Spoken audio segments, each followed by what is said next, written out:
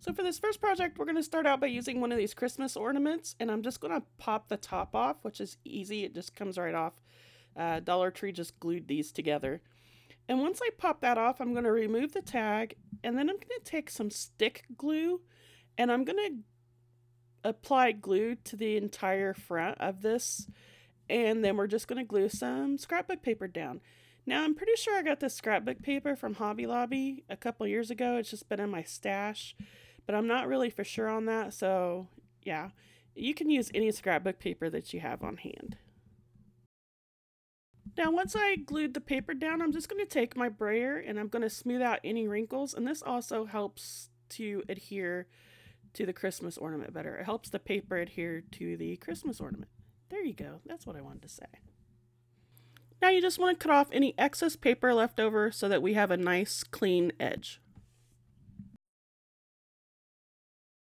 When we have our paper cut, we're going to glue back on the top of the ornament, that metal piece that we took off earlier. We're going to glue that back on.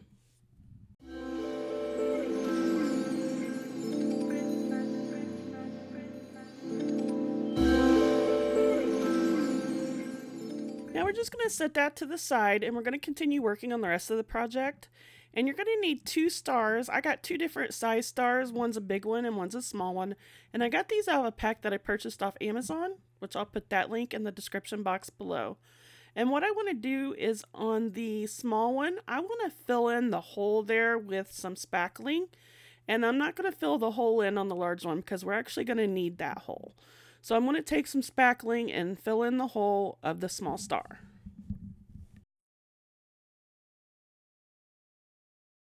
While our spackling is drying on our small star, I'm going to take some Barn Red paint from Apple Barrel and we're going to give this star two coats. And you're just going to need to paint the front of it because the back will be glued down.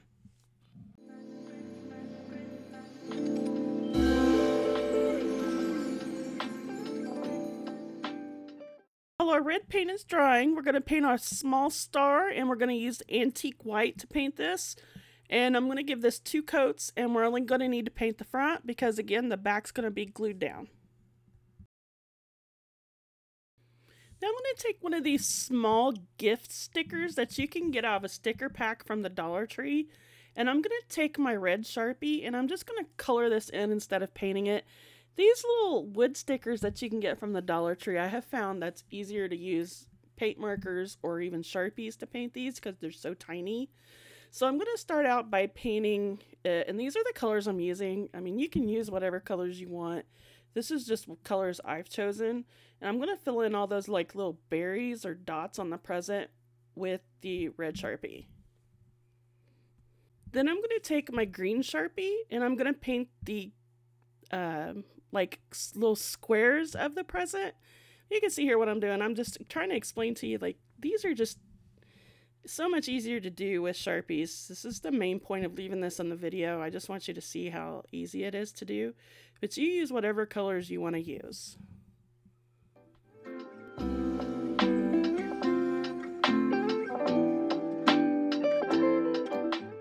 Then for like the little gift wrap and the bow at the top, I'm going to use this silver metallic Sharpie. Again, it's just filling in these fine details. That's why I love these like little sticker things because I for some reason I like coloring in very small objects. I don't know. Anyway, plus you could kind of I mean it's kind of fun to come up with the different colors that you could use.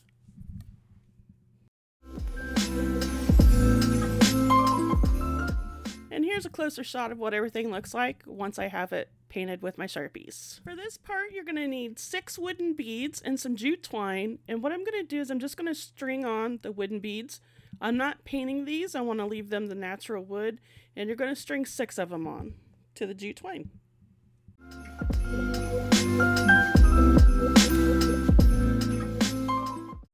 Once I have those six beads strung onto the jute twine, I haven't tied any knots yet or anything.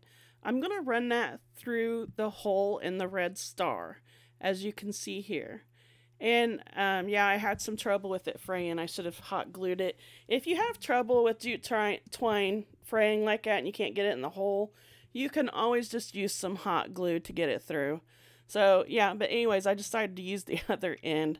And you can see here I'm just putting it through the hole and then I am going to leave it hanging just like you see here. Still haven't tied it in a knot because I'm going to take the silver bell that I have and I am going to put that on the end of my string.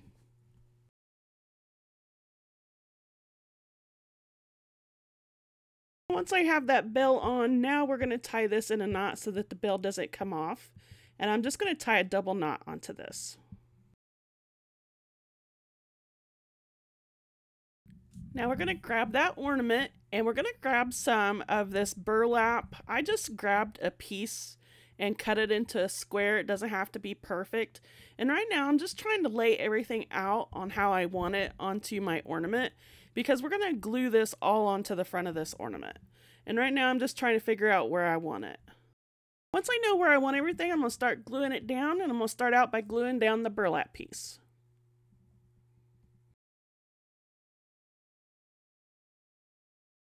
I'm just using a piece of greenery that I got out of a pack from the Dollar Tree and I'm going to glue that down on top of this burlap piece. Then on top of the greenery, I'm going to glue down the red star with the beads and the bell.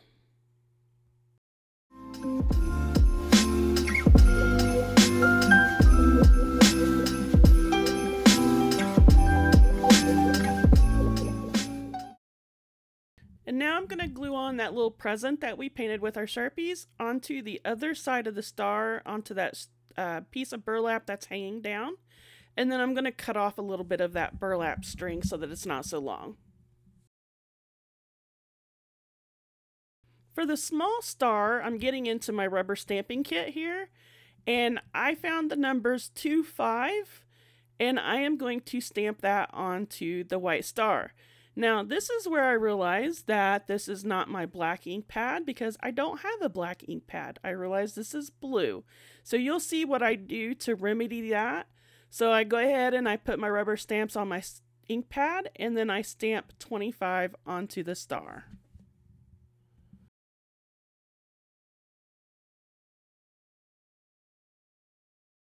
And so because I didn't want this blue, I just took my black Sharpie and I just went over it with the black Sharpie.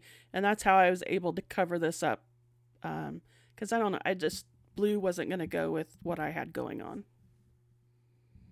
As you can see here, using the black Sharpie covered up all that blue, so now we have a black. And I also added the TH after the 25. Once that's dry, we're just going to take some hot glue and we're going to glue that down onto our red star.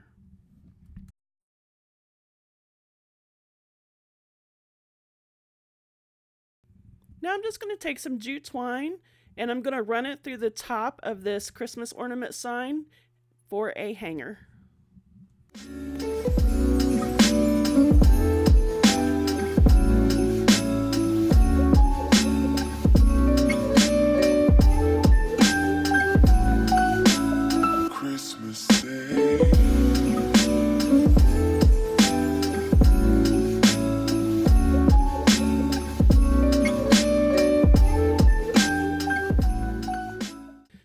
Project, you're going to need a wooden star. Again, uh, you know where I got this. I'm not going to say it.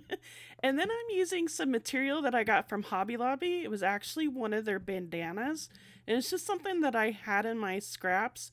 You can use any kind of material you want, but I'm using this because it's thin. And we're going to Mod Podge the material onto the star. That's why I kind of wanted it a little thin.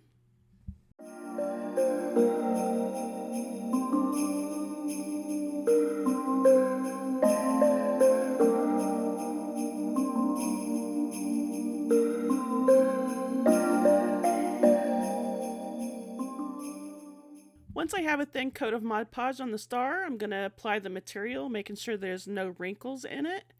And I'm just going to let that dry. Once that's dry, I'm going to apply a second coat of Mod Podge on top, and we're going to let this dry thoroughly before we move on to our next step.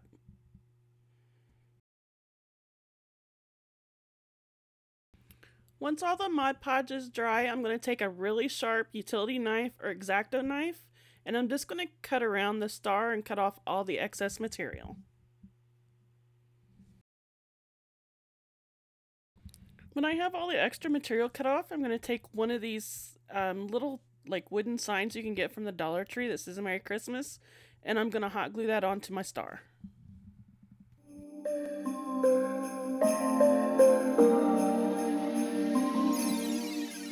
Just gonna take some greenery and I'm going to um, glue it onto the bottom of the star. And this is just some greenery I got from the Dollar Tree with some little these berry picks. And I'm just gonna kind of put like a little swag together for the bottom of this.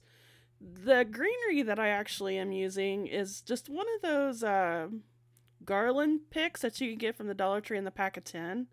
And then these berries come from a dollar or a flower pick from the Dollar Tree. And I'm just trimming it and making a swag. As you can see here, which I've already told you I was making a swag. But let me tell you again, I'm making a swag.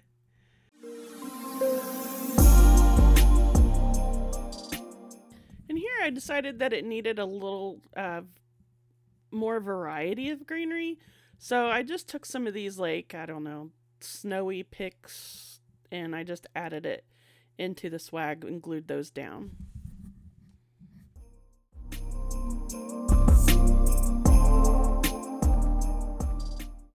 Once I have the little swag completed, which I think is really pretty, I'm going to take one of these buffalo check bows and I'm going to glue that to the top of the star.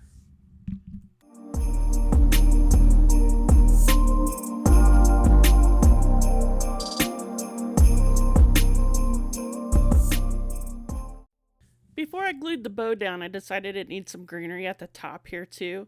So I just took a little bit of the greenery off them floral picks and I'm going to glue it underneath the bow.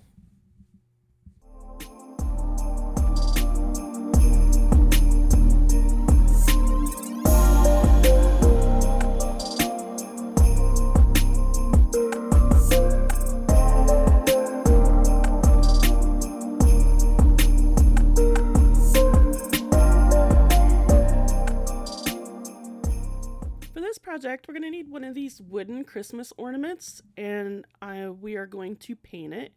And we're going to paint it with the antique white. And I ended up giving this two coats, and you just need to paint one side. You can do both sides if you're going to hang it up, but I'm not going to hang it up, so I only painted the front side. Okay, so now what I'm going to do is I'm going to attempt to paint a buffalo check pattern onto this ornament. As you can see here, I'm just taping off my sections. Now stick with me on this guys because this is the first time I've attempted to paint a buffalo check pattern on anything. So I had to watch plenty of YouTube tutorials and videos to figure out how to do this. And unfortunately, there's a lot of YouTube tutorials out there for perfectly square and perfectly round pieces, but there's nothing out there to tell me how I could tape off an uh, whatever shape this is, this wooden ornament that I purchased from the Dollar Tree, there's nothing out there to show me how to do this. So this was all me learning and the first time doing buffalo check. So right now I'm just taping off my vertical lines that I need to be able to go over this with my second lightest coat of paint. I've already went over it with my lighter coat, which was the antique white. And now I'm going to tape this off and go over it with my um, other coat that I'm wanting to use, which is an elephant gray.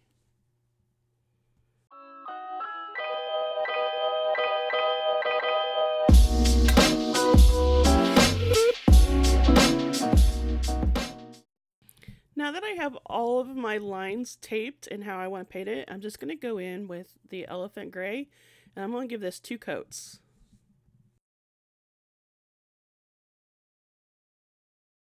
Okay, so once our paint is dry, we're just going to remove the painter's tape and then I'm going to flip the ornament around to where those lines are actually horizontal and we're going to add some more tape going vertical across those horizontal lines.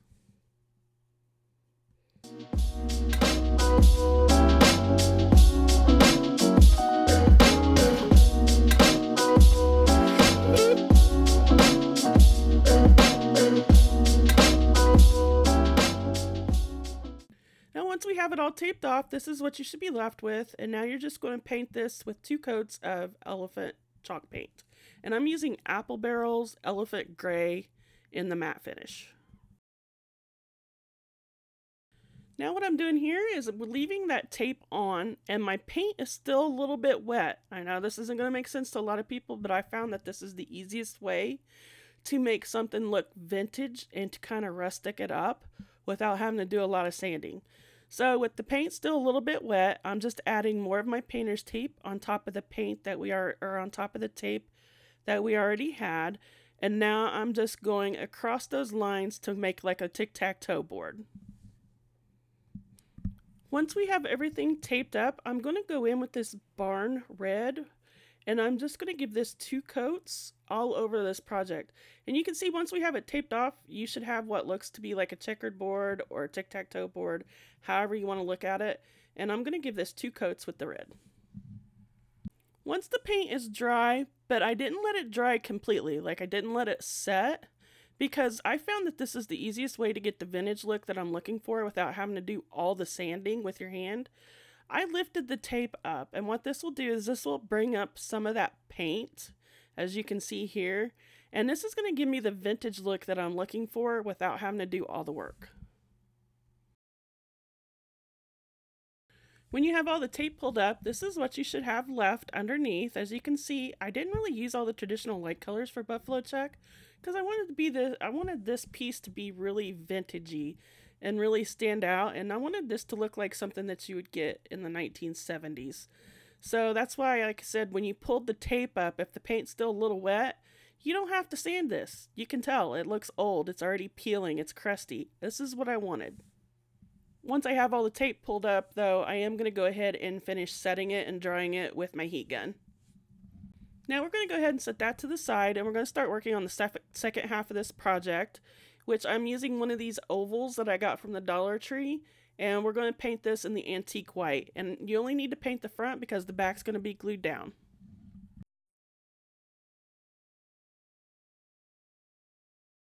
While that piece is drying, I got into my stash and I got out some letters and I spelled the word jingle bells. And I'm going to um, use a Sharpie marker to paint these because I just find using Sharpie markers is easier than paint markers to paint these letters.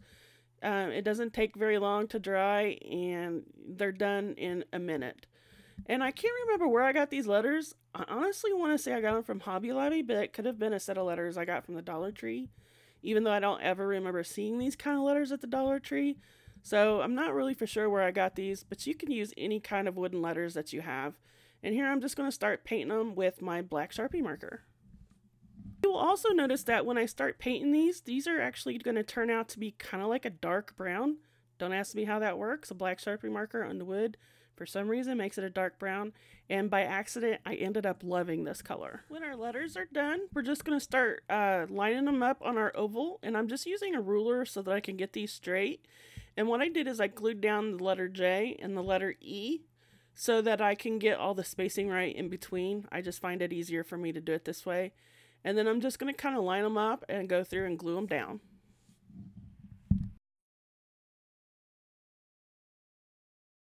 When our letters are all glued down, I'm now going to add some wood glue to the back of this oval as well as some hot glue so that I have the temporary quick hold and the permanent hold.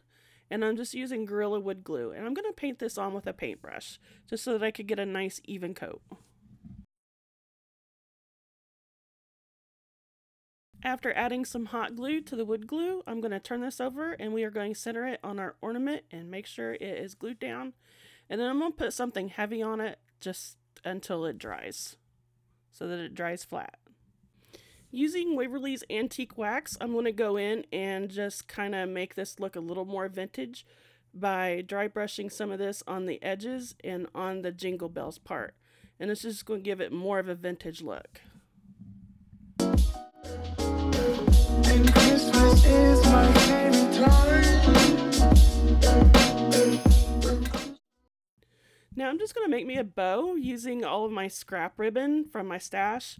I am not a bow maker, nor am I an expert. I couldn't tell you what kind of bow this is. I'm just throwing some scrap ribbon together, making a pretty bow for the top of this ornament. And I'm using some burlap ribbon, some red ribbon, and some black ribbon, all purchased from the Dollar Tree.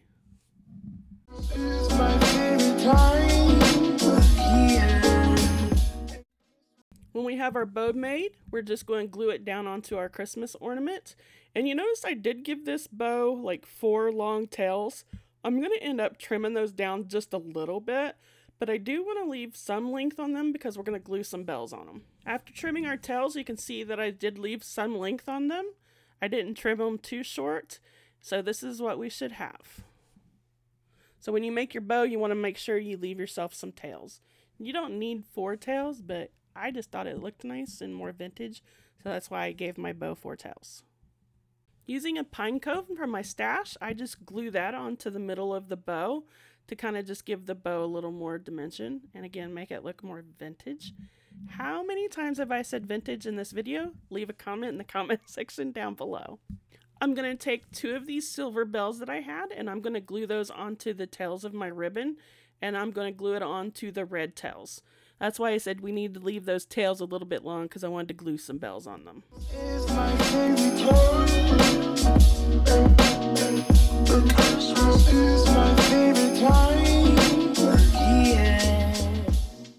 Using some of that red ribbon we have left over from our bow, I'm just going to glue it onto the back to make a hanger so that I can hang this on the wall or a command hook on the door.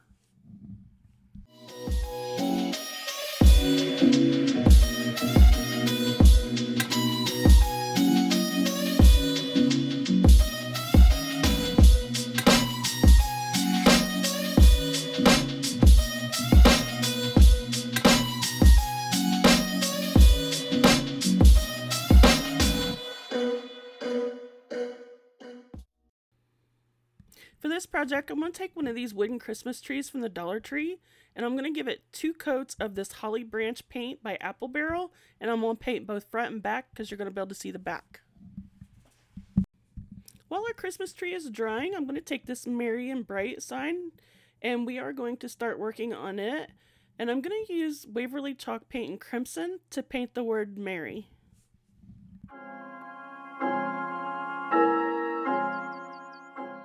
We have the word Merry painted, I'm going to go in with this um, folk art paint and pearl white, and I am going to paint the word bright with this.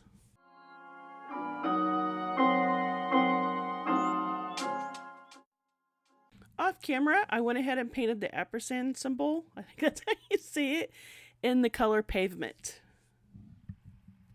With the word bright still being a little bit wet from our um, pearl white paint, I'm taking some of this silver glitter again from folk art. It's kind of like a silver glitter paint.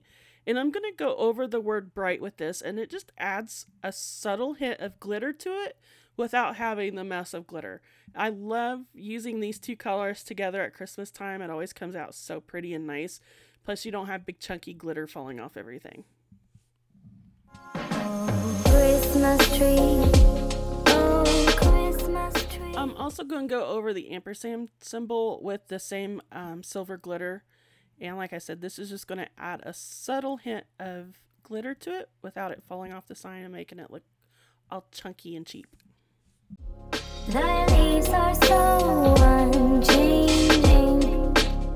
We're just going to set the Merry and Bright sign to the side to let it dry. And now I'm going to finish working on the Christmas tree. And what I'm first going to do is I've decided to add a star to this. So I'm taking one of the wooden stars that you can get from the Dollar Tree. And I'm going to start out by painting it with the pearl white that I painted the word bright in. And before it dries, then I'm going to add more of the um, silver paint, the silver glitter paint to it so that it has the glitter look. Setting the star aside to let it dry, we're going to start working on our Christmas tree. And what I want to do is I want to add these LED lights to it so we have to drill some holes. So I turned the Christmas tree around, and the easiest way I found to get the correct placement for the holes is I taped the lights down where I wanted them on the back. And all I did was use some masking tape to tape these down.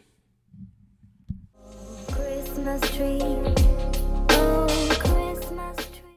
Now that I have my lights taped down, I'm just going to take an ink pen or a pencil, whatever you have, and I'm just going to draw a little circle underneath the light where I want to drill the holes.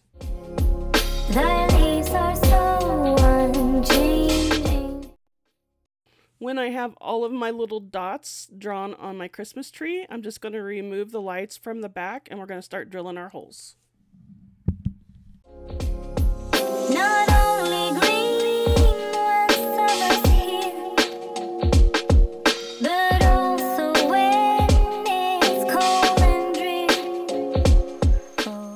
Just going to use my little rotary tool that I purchased off Amazon and I'm going to drill out all of my holes. Once our holes are drilled out, this is what you should have. You should have a hole big enough to be able to fit the lights through the hole. But working from the back, we're going to start putting our lights in the holes. And to make this a little more sturdy, I did go around these lights with some hot glue. You don't have to worry about it melting the wire because there is this like hard acrylic over the light bulb. So um, I just did this so that it wouldn't move or fall out of the hole. And I did get these lights from Dollar Tree, and all they require is two AA batteries. Christmas tree, oh Christmas tree, such pleasure do you bring me. Before I add the battery pack to the back, I want to go ahead and complete this tree. So I'm going to take that star that we painted, now that it's dry, and we're going to go ahead and glue it to the top of the tree.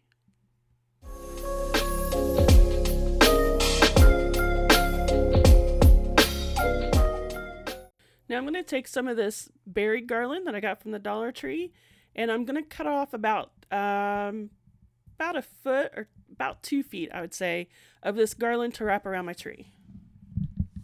Using a little bit of hot glue, I just glued it onto the back of our tree. And I'm holding that down because, you know, this pip garland wants to pop right back up. But I'm just going to let that dry and I'm going to weave it through the wires of the lights around the tree.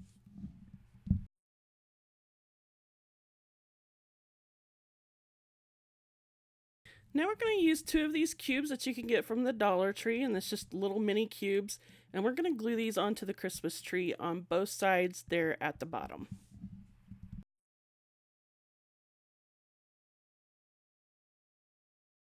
When we have our cubes glued on, now I'm going to take the Merry and Bright and we're going to glue that onto the cubes. But first we're going to glue down that pip berry garland to the side of this cube. That way it's hidden by the Merry and Bright sign.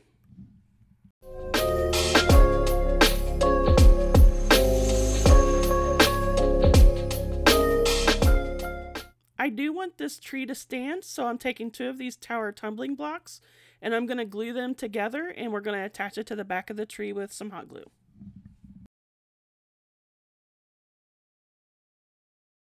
I'm going to take a set of these fastener dots and I'm going to put them on the back of my battery pack so that we can attach the battery pack to the Christmas tree. I didn't want to use hot glue for this because I want to be able to take these lights off if I want to. So I just attached it to the back of the battery pack. That way we can take the battery pack on and off.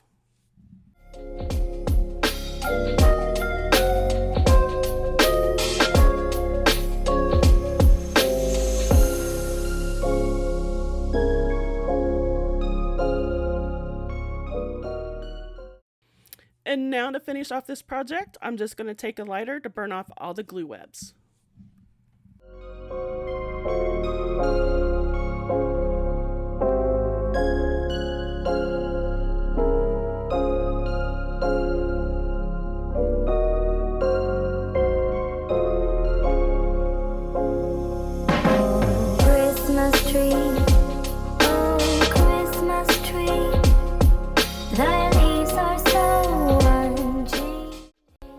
Enjoyed today's video, please give me a thumbs up. It really does help my channel grow. And if you guys like these type of videos, don't forget to hit that subscribe button. And when you do hit that subscribe button, make sure you hit that notification bell so that you'll be notified of all of my future uploads. And to help my channel even more, be sure to click on one of the videos that's popping up on your screen now. Thanks guys, see you in the next video. Bye!